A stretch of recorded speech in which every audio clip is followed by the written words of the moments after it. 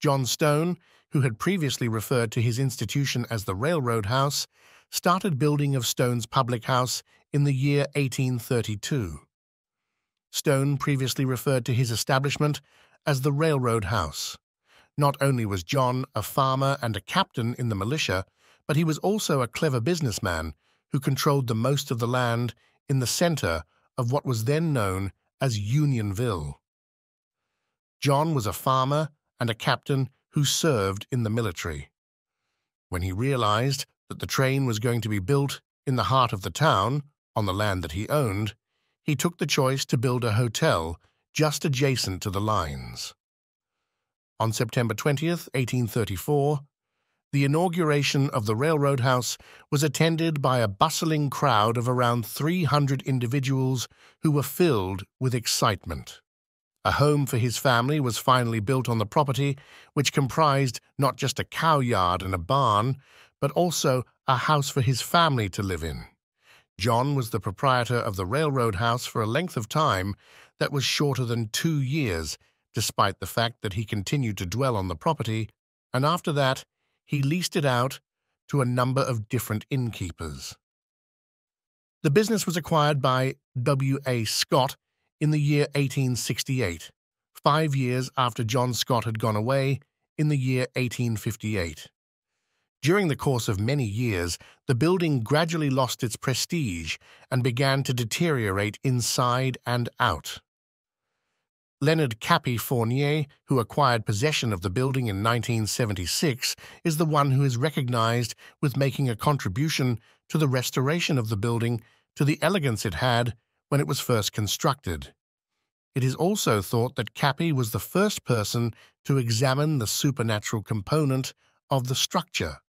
This is another assumption that has been made, published for the first time in a newspaper in the year 1984. At John Stone's Inn, Odd occurrences have been taking place ever since Fournier acquired the historic inn seven years ago. Since then, the inn has been experiencing a number of incidents. For instance, there are doors that do not remain fastened and lights that turn themselves on. These are only two instances. As a result of the discoveries that Fournier made public five years ago on the unusual incidents that took place at the inn a number of psychics and mystics searched the 152 year old business in an effort to find instances of ghosts. Despite the fact that the descriptions provided by each of the specialists are considerably distinct from one another, Fournier asserts that they all discovered a single item in common. When I brought them to the upstairs function room, they all felt the strangest feelings in the back half of that room, he said to me at the time. Every single individual who was there in that room on the second floor made the exact same statement.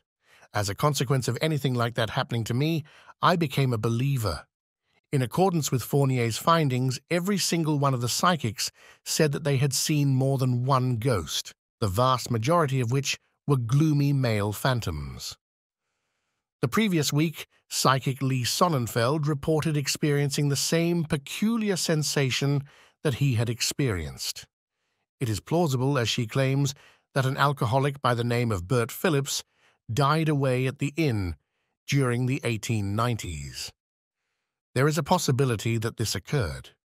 At the moment, the spirit of Phillips is determined on staying at the inn since it finds pleasure in the atmosphere that exists there. Regardless of the identity of the ghost, Butch Adams, the assistant manager, has said that he will not be discovered dead at the inn by himself during the night.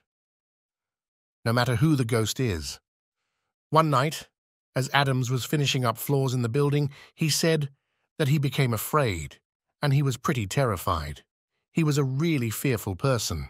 It was for no apparent reason that a handful of bird seed fell through holes in the ceiling and clanged down to the floor where he was working. He was working at the time, in accordance with Fournier's findings, bartenders are consistently reporting that water faucets turn themselves on. Additionally, customers have reported that they have been tapped on the shoulder only to turn around and find that there is no one behind them. The following is an excerpt from an article that was also published in 1984 and states that Ralph Bibbo, a professional hypnotist and the founder of ECHO, Education Concerning a Higher Order, was a visitor at the inn. Bibbo claims that he has finally been able to uncover the horrible tale that has kept between six and seven spirits walking the inn for nearly 140 years. Bibbo says that he has been able to unearth this narrative. Bibbo had been a member of a great number of sessions prior to the discovery of this information. And after having interactions with a number of the spirits, including a chambermaid by the name of Sadie, Bibbo said that he was told that John Stone had accidentally killed a New York boarder named Michael. Additionally, Bibbo stated that he had been notified of this information. Stone had accused the visitor of cheating in a poker game that took place upstairs and resulted in a profit for Stone of $3,000.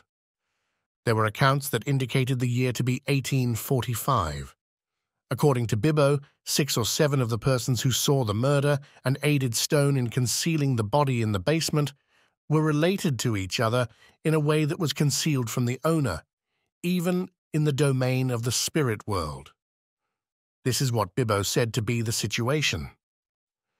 In the course of one of the sessions that was caught on tape, Stone reluctantly entered the body of Terry Pendleton, who was a member of the ECHO. Stone then turned his attention to the crowd that was present throughout the session and shouted at them, asking them to get out of here.